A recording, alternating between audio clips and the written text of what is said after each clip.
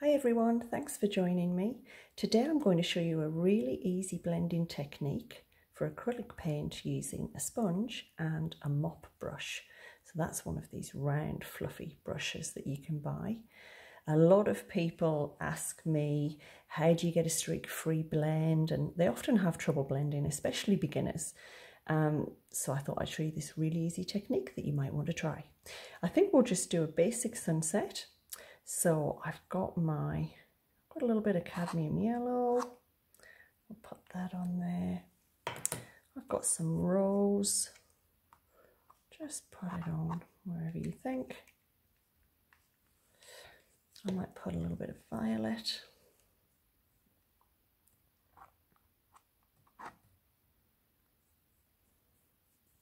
and maybe some cobalt blue just at the top. Let's just put a little bit of cobalt there. Okay, I might even put some white, I think, just to dilute that cadmium yellow a little bit. So I'm going to come in with my sponge and all I'm really doing at the moment is just getting the paint spread around the canvas and roughly the area that I want it. So I've been quite generous with the paint, not too much, but I've been quite generous. And we're just moving that paint around. I'll probably just blend it a little with the sponge here, although you don't have to, but it might help me out a little bit later. I've softened it a little. And then because I'm probably just going to be a wee bit lazy, I'll turn the sponge over and I can do the violet. There we go. I'll just get that violet blended in. Doesn't matter if a little bit of rose has gone up the top. There we go.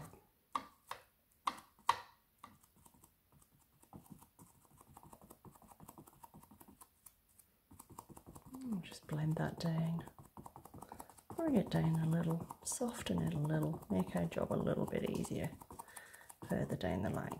Now what I'm not going to do is use this sponge to do the blue because there's yellow on it and I'll end up with a green sunset. So either rinse your sponge thoroughly, squeeze it out, get rid of most of the moisture or put your sponge somewhere wet and come in with a new sponge just to do that blue.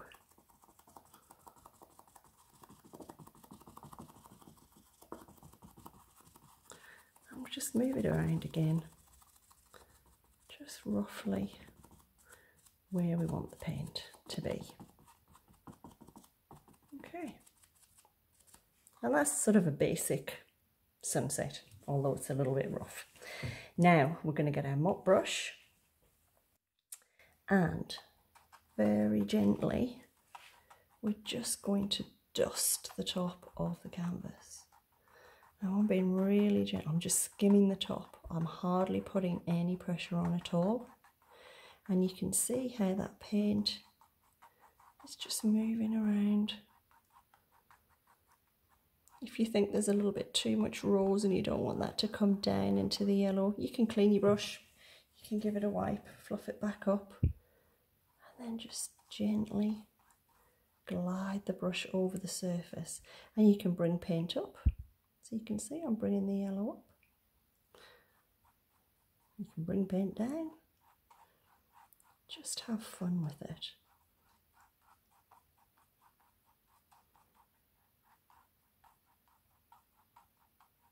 There we go. And probably the one thing you don't want to do is just go from side to side because, you know, then you will get the, those lines. So if you go in all different directions, get that really nice soft blend that you're after. And you may not want to blend it thoroughly. Sometimes you get sunsets and you do get sort of streaks of cloud across the sky or you know different patterns in the sky as the sun's setting but today I'll just show you how to do that basic basic blend. So that's roughly that one. We'll leave that just to dry off a little bit. Now you can either, again, you can wash your brush thoroughly and dry it off. Or you can come in with a new brush, which is probably what I'll do because you don't want to watch me washing brushes. Maybe you do. If you'd like me to do a tutorial on how to look after your brushes, let me know in the comments and I can do that for you. Help prolong their life. But for today, we'll just carry on with this blend. So you can see I'm barely touching the top and I'm sort of going on a figure of eight, just whatever feels right until it's all dusted the way that you want it. And I quite like the way that that sky's looking at the top. So I might just bring it down. The only two colours I don't want to mix is the blue and the yellow. Other than that, I can have a little bit of fun.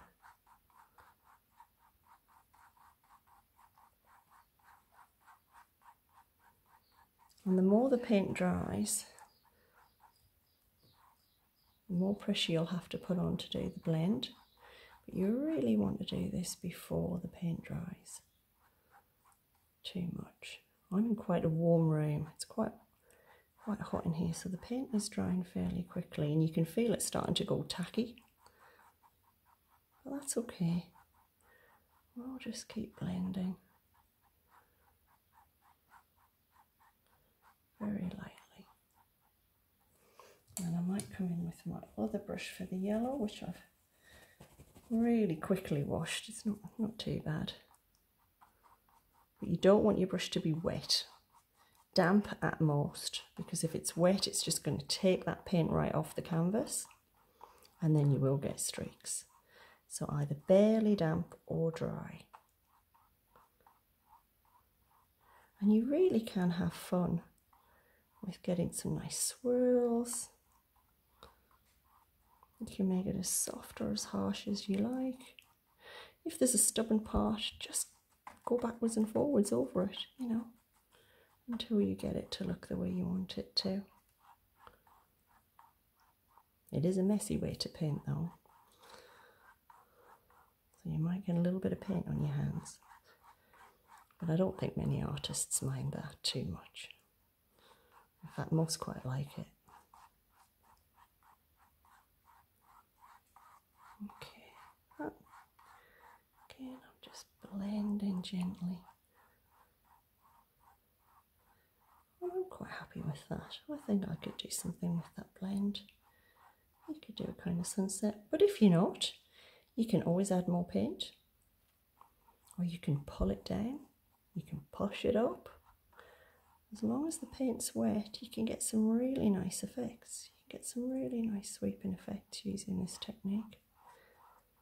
And then if it doesn't, if you don't like it, just blend it back out again.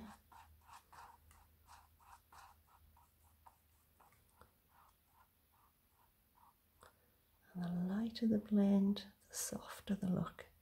The lighter you are with the brush, the softer the blend you get. So just practice. Oh, I'm moving my canvas about a shot there. Just practice. Practice with the amount of pressure that you put on. And if I deliberately make a mistake, I'll just say, oh no, look, I've really messed that area up. All right, I'm just going to give my brush a quick, quick dry off. And if your paint's still wet, you can just buff it out. You can just blend it out. Again, we're just playing with the paint. We're just moving it around the canvas. It's quite forgiving. Okay. And that is a really easy way to blend paint because painting should be fun. It should not be stressful. And if you don't like it and you really don't, you're not happy with the blend, just leave it for an hour, go and do something else, and then come back and do it again. Just blend over the top of it. That's the beauty of acrylics. Okay everyone, I hope you've enjoyed today's video. If you found some value in it, consider hitting the subscribe button or the like button, and I'll see you next time.